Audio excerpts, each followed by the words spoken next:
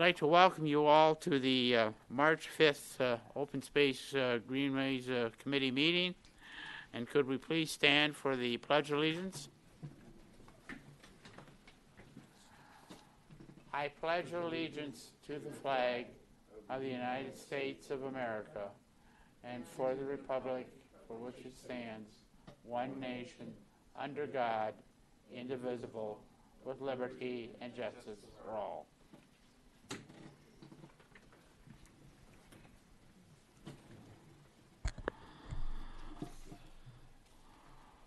Okay, uh, in the package that I have uh, given uh, given you, you have the uh, uh, minutes of the March meeting, which I sent to you last week.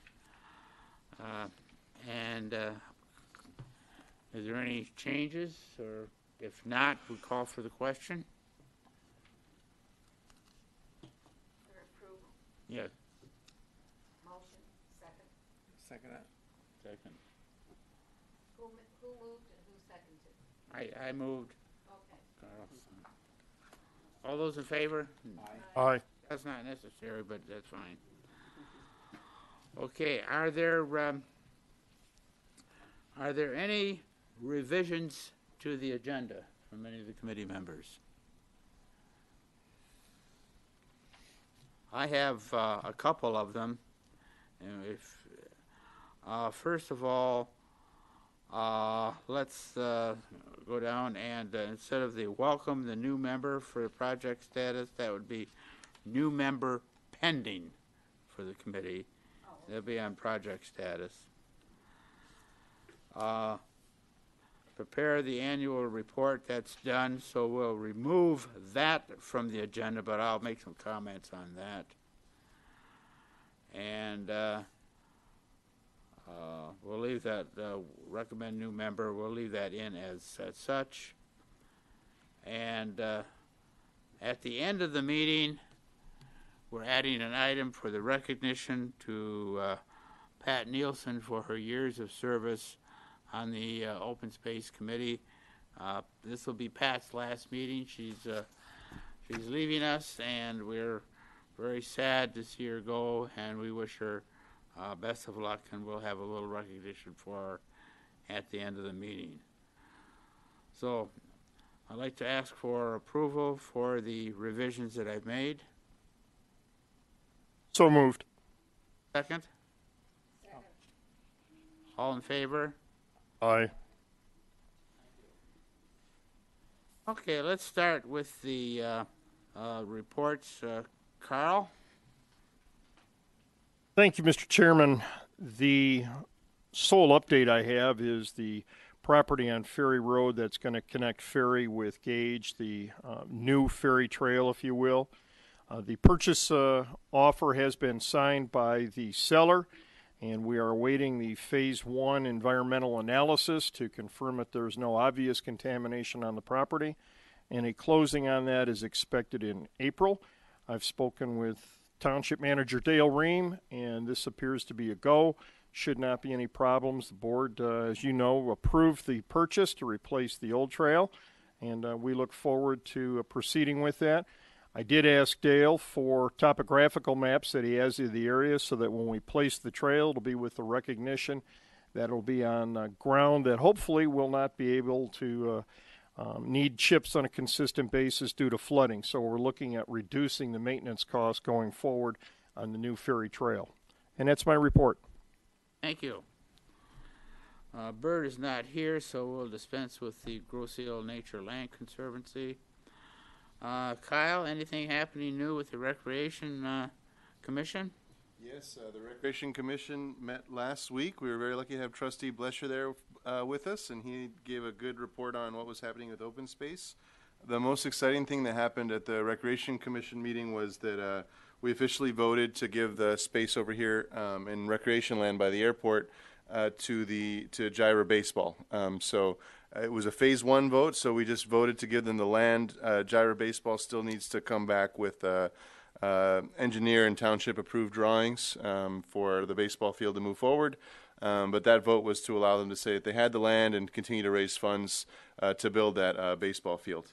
Um, a personal thing that I raised uh, that I've been trying to get answers for is um, when the decision was made to, to fill that in, if uh, any environmental study was done as to its effect on the wetlands behind, as well as uh, Frenchman's Creek, which uh, is drainage for a huge part of the island. Um, so I'm, I'm still looking into answers into that myself. But but it passed. Everyone voted for it, and uh, and we're looking forward to seeing how, how it does. Thank you very much, Kyle. Appreciate it.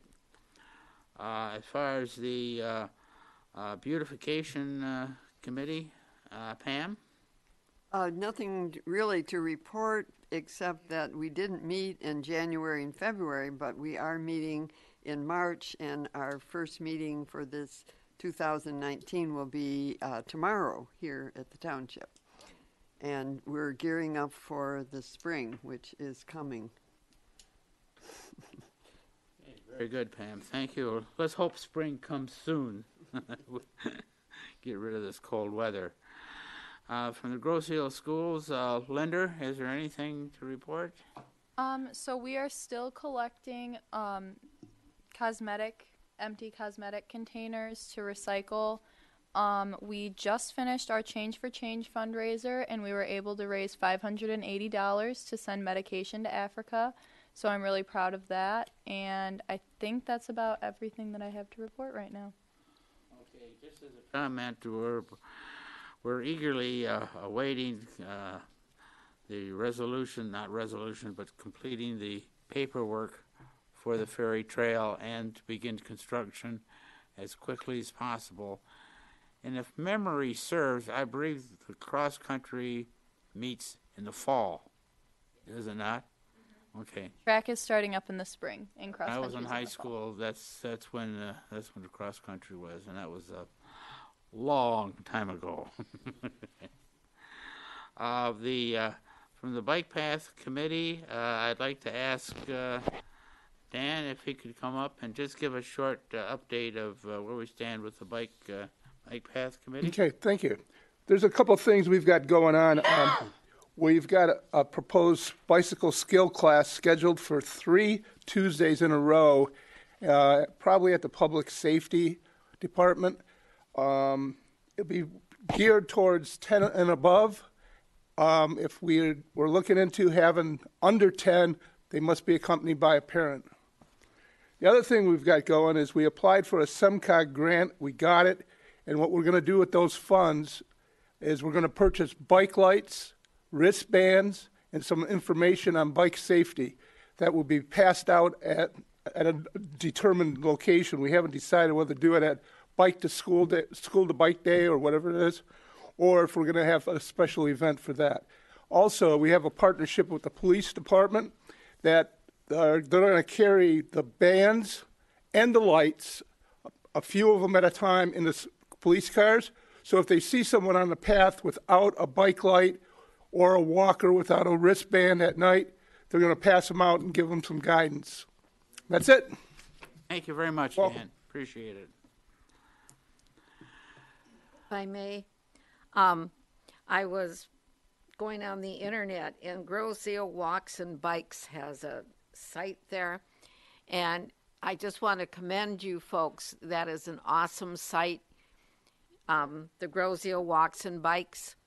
And, Mr. um, Chairman, no. Thank you. and, and I think that as we get going, that open space might want to do something to encourage people to walk on our trails.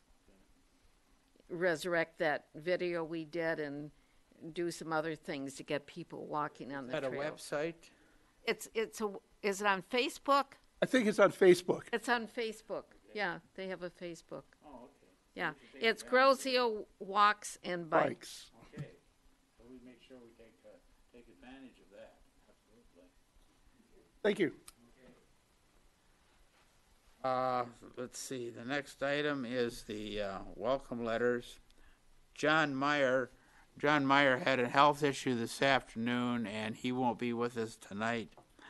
But John told me that he has sent out, uh, uh, twenty-two letters this month, welcome letters. That, uh, and for just for kind of review, we, we've set up a system with our uh, Public uh, Services Department that whenever a resident moves to Grosse Ile, it's put on a list and we send them a, uh, a letter, welcome them to the community, send them a copy of our open space guide and with other certain pertinent information. It's like a, a very low-key welcome wagon. So we've been doing this now for about maybe four or five years.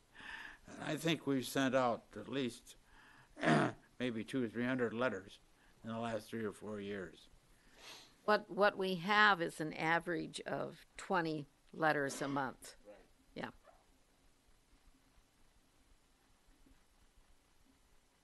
The next item, and this is kind of like an update, uh, the nature guide, uh, John Meyer, Bert Urbani, and myself are updating uh, the nature guide. We had one meeting and we got most of it, uh, most of it completed. And we're going to be giving it to the, we've given it to the Na- Grosse Ile Nature Land Conservancy for any changes that they be making, uh, they might be making on their sheet, on their, uh, their portion of the guide. And I'm hoping to have this, this guide ready to go to the, uh, printers by maybe late April. And so we can get it out to the community in, uh, May or June. Uh, what we'll probably be doing, we, uh, we've had great success in sending the, the guides out through the uh, local Kroger store. I think we've sent out 76, 700 copies. We'll make them available to anybody who wants them. Here at the township, we'll give some to the uh, uh, Bike Path Committee if they want to pass them out. So uh, we're looking forward to getting that updated guide in the hands of all our residents.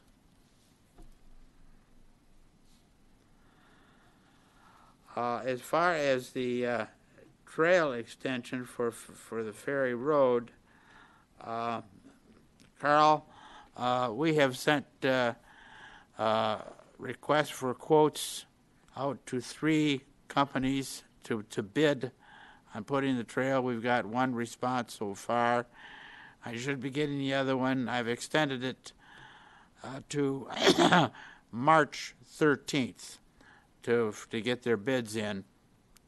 Given the uh, terrible conditions we've been having as far as weather is concerned, and if if uh, I'm stand if I'm correct, uh, we will not be doing anything physical on that land until such time as uh, all the environmental issues are addressed and the final, as I say, the I's are are dotted and the T's are crossed before we start any work on that. That would include minimally the environmental phase one analysis as well as uh, a closing on that to make sure that it is ours. Uh, Yes, and that we have uh, an opportunity to review the maps that will show the elevations that will help us uh, put in a good trail. So, those are the three things that we need to do before we go forward.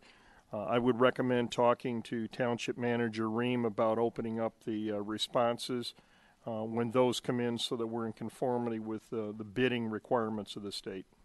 Okay, very good. And I think we, uh, we sent out, uh, let's see, we sent out three requests for bids, and I think that's, that's normally, in the business world, that's basically what we've, what we've always done, so. Now, as far as, uh, I'll talk to you later about, you know, in other words, the proper way to, uh, award the bid. Uh, I think we have to get, uh, approval from the board to spend the money. That is correct. Okay, so we'll be doing that, and I'll be getting with you on that. Look forward to it. Thank you. Okay.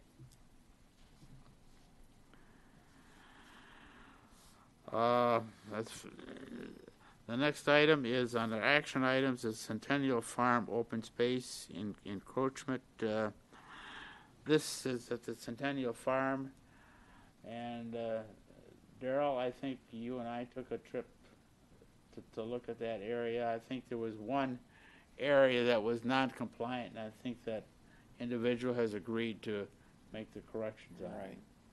Yeah, he was gonna make the correction on it and get back with us. Yeah. So he's not gonna do it now, of course, there's too much snow, but uh, Right. we're looking, we're looking forward to that, and it's something that we should be hopefully monitoring, uh, with, uh, uh, with due diligence. Mr. Chairman, if I may add to that, I did have a chance to speak with the ordinance officer, Tony Gray.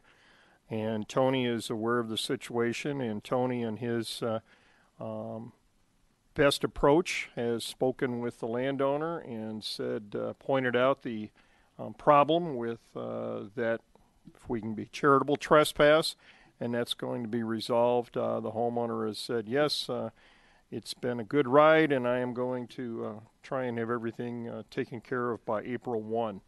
So it was done without any kind of difficulty, and thanks to Tony Gray for making uh, something that had all the potential for some unhappiness uh, resolve in a very, very easy going, pleasant manner. Uh, we like to work with the citizens, and uh, Tony indicated uh, the gentleman was just very pleasant, very cooperative, and understood the problem. So we anticipate that problem resolving. He said by April 1, but uh, the weather is certainly a factor, and it may be later than that. But all signs indicate a positive, easy approach. Well, we appreciate Tony's efforts in this. So Tony's a very uh, diligent yet very polite and uh, very uh, upbeat individual when he deals with these type of issues. Okay, we're going through rather quickly uh, because we have a lot of. Uh, we don't want to keep you too long.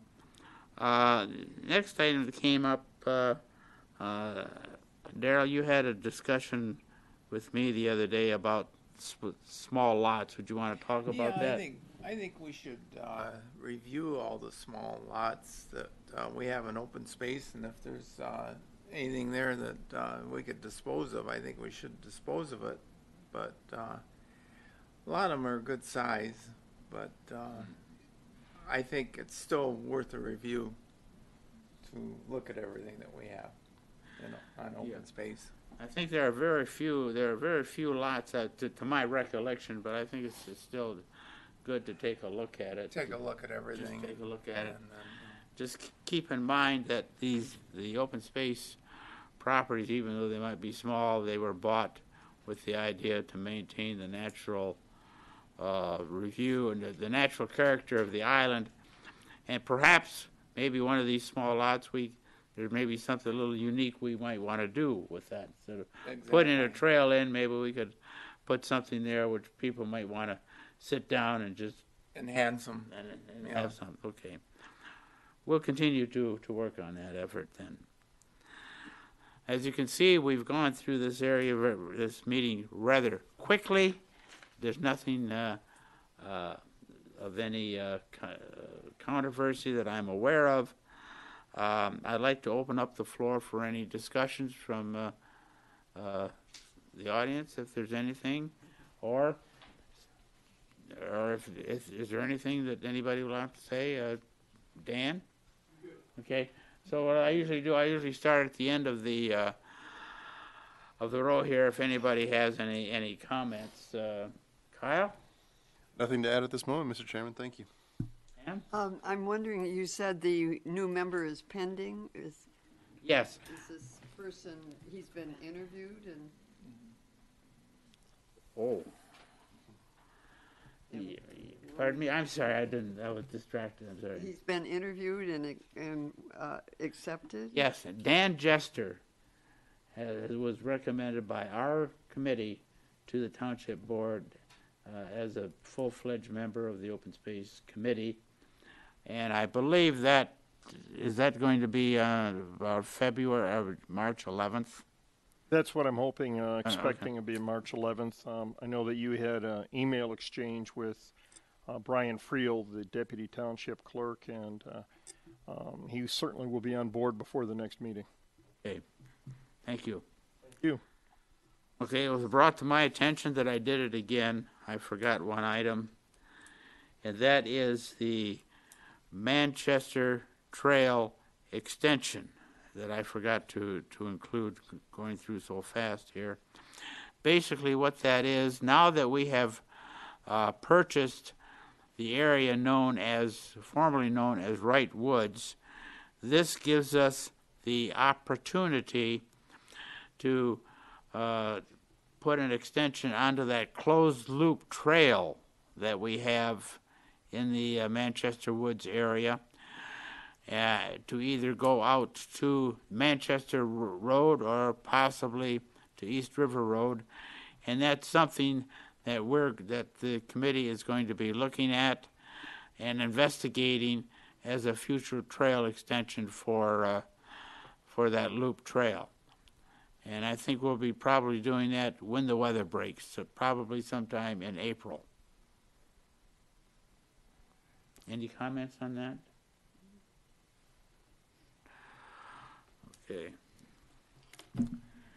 If not, we have one more item to take care of. And uh, it's with great sadness that I announce that again that uh, uh, Pat Nielsen is going to be uh, leaving us, and this is going to be her last meeting. I will not ask her to prepare the minutes, if unless she wants to. Well, you had asked me that, and I said I would. Okay. so, uh, I'd like to, uh, this is rather informal, but to uh, s- give you a copy of a letter that uh, we prepared and uh, it's, it's been signed by all the members of our committee and members of the township staff. Oh, wow. So, Pat, thank you so much for your help. It's, it's not much, but our hearts are in it. So, Well, thank you so much for your years of service. Thank We you so appreciate much. it. This is great.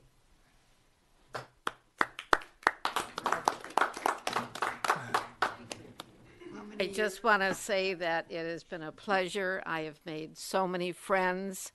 Um, my heart is with the Open Space Group, and um, it, it it's hard, but I will miss you all. Just one final thing that uh, uh, she is leaving us. However, however, she has agreed to be an overseer for the uh, wildlife sanctuary, which is her her first love, and uh, as a as a member of the Island Beautification Committee, that area has been under the tutelage of that committee since Garden Club. You're right, Garden Club. I'm sorry, the Garden Club, since was it 1943, Yes. Which is before a lot of us were born, but not all of us. Right. So Pam has continued, has agreed to be in it. That means she can uh, tell us anything that's going on that needs correcting, but she doesn't have to attend the meetings. Correct. Thank you. How many years was Pat on board? Nine? Okay. Yeah. Time flies. That's fine. Flies. She was a teenager when she came on board. Absolutely.